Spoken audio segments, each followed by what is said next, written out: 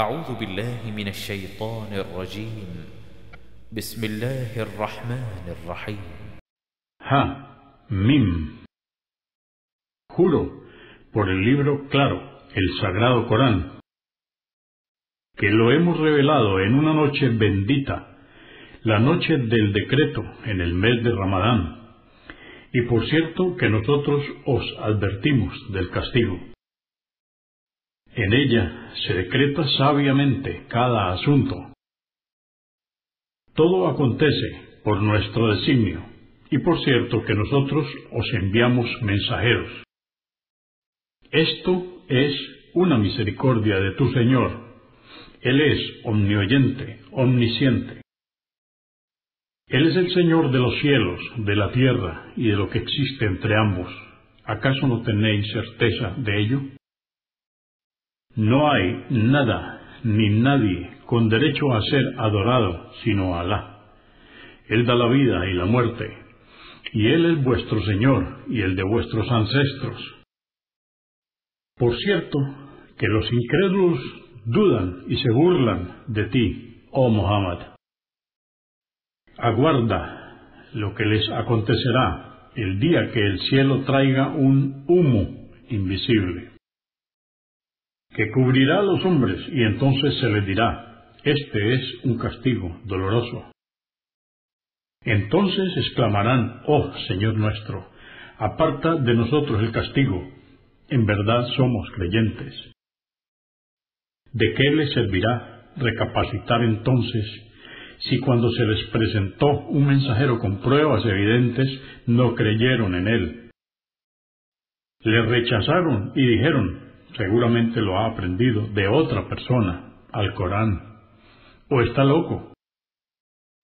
Ciertamente os libraremos por un tiempo de este castigo, pues reincidiréis en la incredulidad y mereceréis el castigo eterno. Y por cierto, que el día de Badr les castigamos violentamente. En verdad, nos vengamos de ellos por su incredulidad.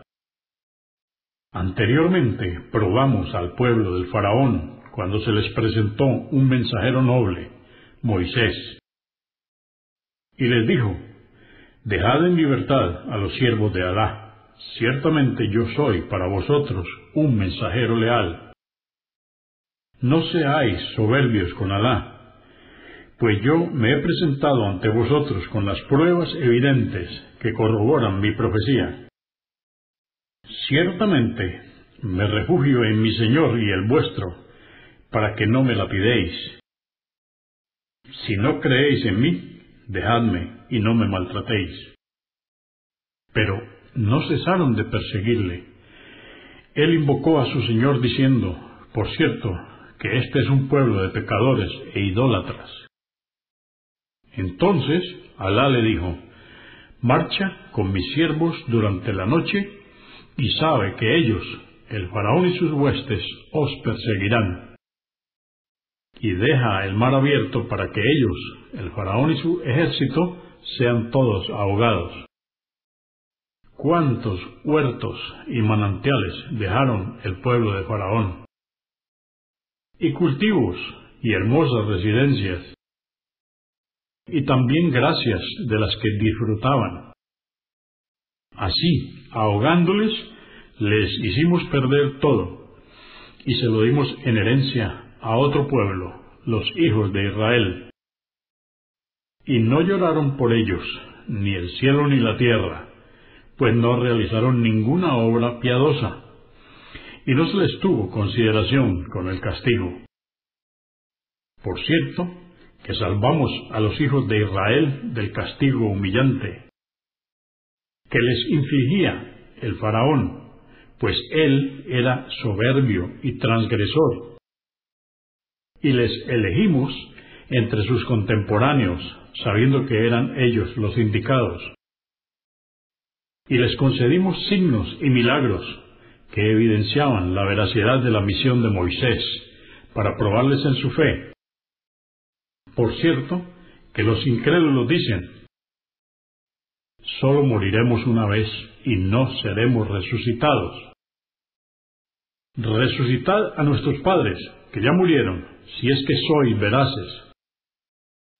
¿Acaso son ellos mejores que los pueblos que hemos destruido, como el pueblo de Tuba, rey del Yemen, y los que les precedieron? Todos ellos fueron pecadores e incrédulos. Por cierto, que no hemos creado a los cielos, la tierra y todo lo que hay entre ellos por simple pasatiempo.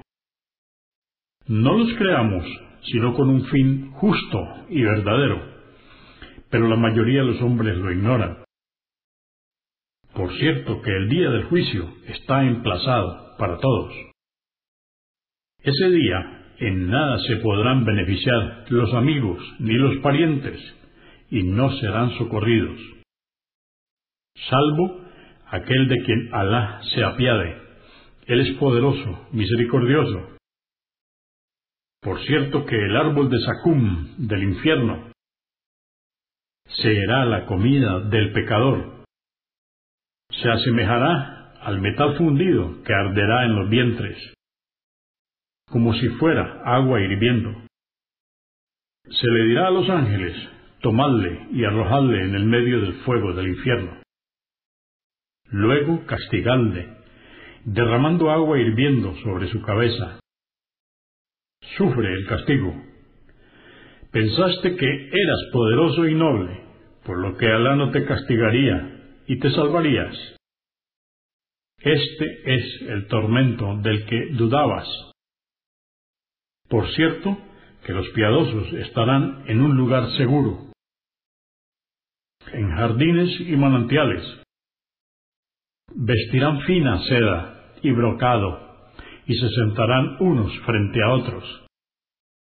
Y los desposaremos con huríes de grandes y bellos ojos. Podrán pedir allí toda clase de frutas que se les concederá, y vivirán en total seguridad.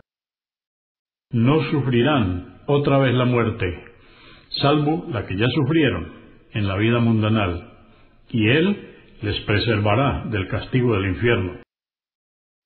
Así es el favor que tu Señor concederá a los creyentes, y ese será el triunfo grandioso. Por cierto, que lo revelamos al Corán, oh Muhammad, en tu lengua, para que reflexionen. Aguarda el socorro de Alá, que ellos en realidad están aguardando el castigo.